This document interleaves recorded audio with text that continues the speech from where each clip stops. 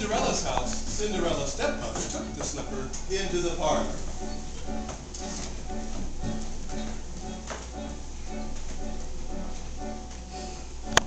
Ouch!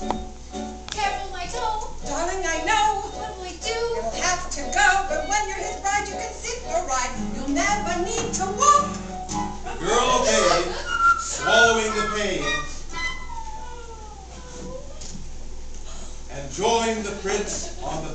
Horse, riding off to become his bride.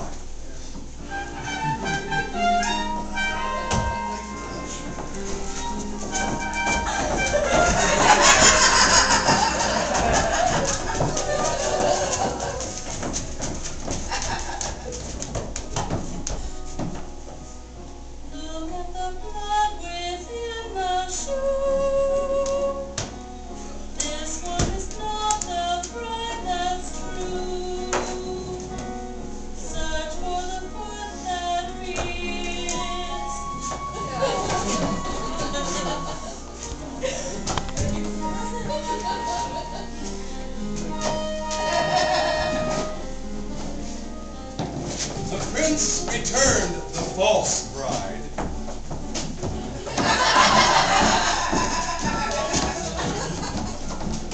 And asked the other sister to put on the shoe.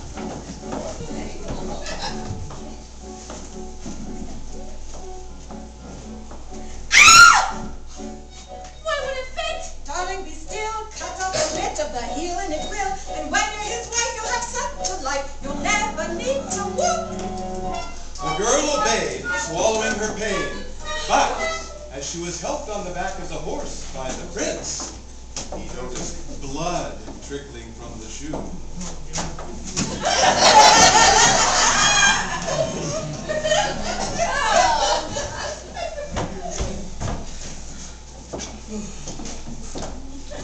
Have you no other daughters? No. Only a stunted little kitchen wench that his late wife left behind, but she is much too dirty. She cannot show herself. I insist. And when Cinderella presented herself and tried on the blood-soaked slipper, it fit like a glove. This is the true bride. I've always wanted a son. Much to the dismay of the stepmother and her daughters, the prince took Cinderella on the back of his horse and rode off.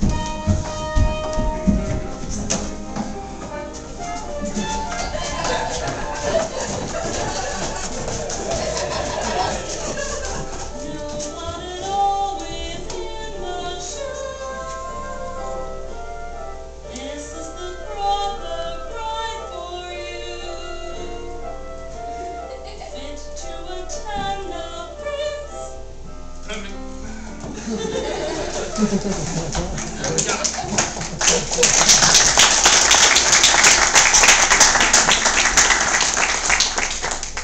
finally, as for Rapunzel, she bore twins, lived impoverished in the desert until the day her prince, wandering aimlessly, heard a voice. He recognized, and he went towards it. And when he approached, Rapunzel, overjoyed at seeing him, fell into his arms, weeping. Two of her tears wet his eyes, and their touch restored his vision.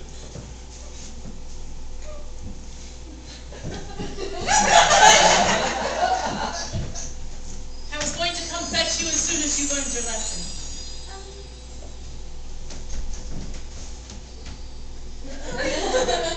Surely you remember.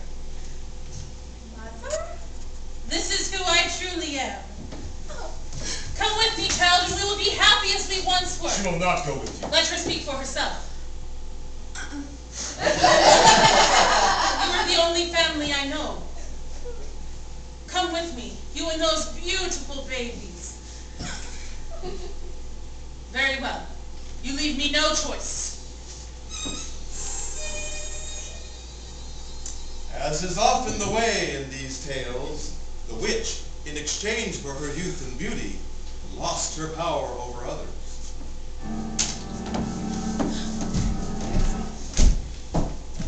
When the wedding of the prince was celebrated,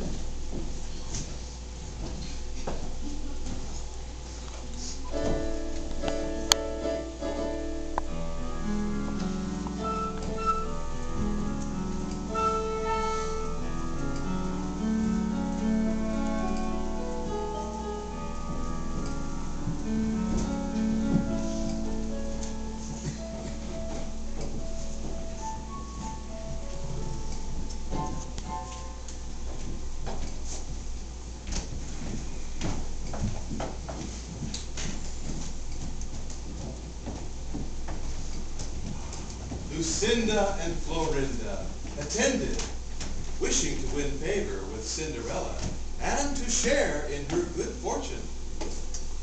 But, as the sisters stood beside the blessed couple, pigeons swooped down